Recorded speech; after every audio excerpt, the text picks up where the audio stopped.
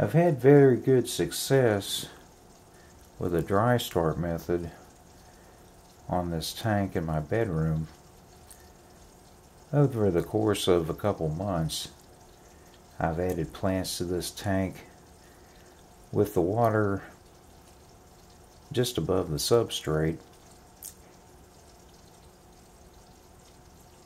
The tank is covered with a polycarb canopy and I had an air line running into the tank so that the plants didn't exhaust all the CO2 with a constant flow of air going into the tank. They got a pretty good start. And so I've gone ahead and filled the tank with water. It's been full for several days and went ahead and added a hardscape just for temporary because I intend to move the tank to my spare room. I don't want to keep fauna in the bedroom because I turn lights on at odd hours and that does disturb the fauna. So I'd like to move the tank into the spare room where it will replace a 29 gallon that I found although it didn't leak at all it was pretty scratched up but that spot is reserved for this tank and I'd like to maintain it as an unheated tank adding only species that don't require a heater.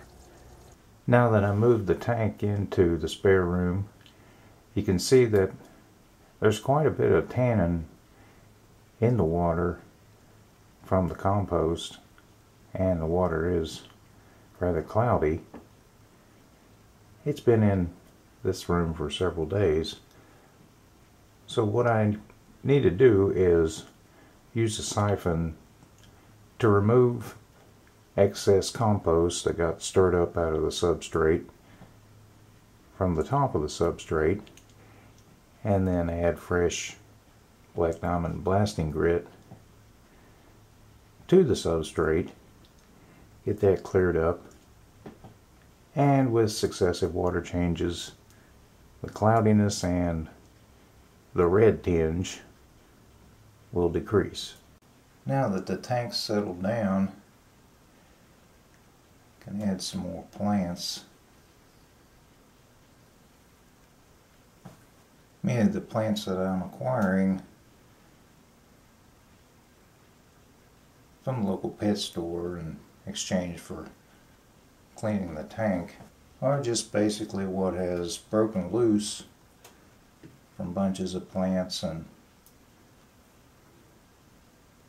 may not be all that healthy but perhaps in this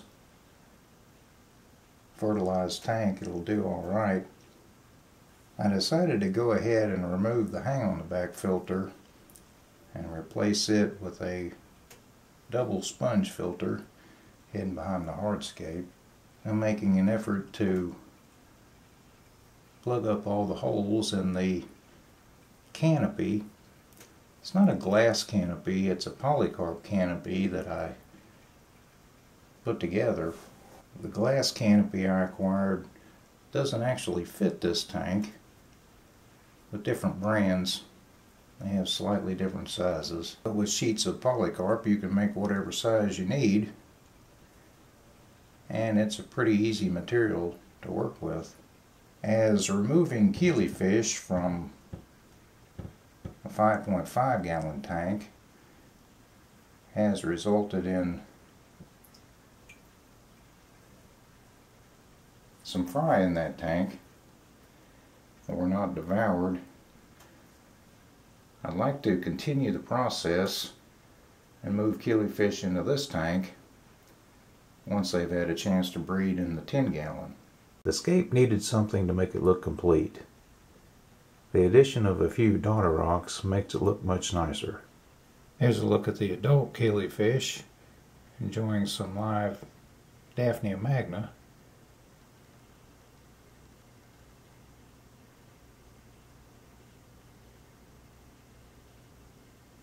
This is the 5.5 gallon tank where the killifish bred previously.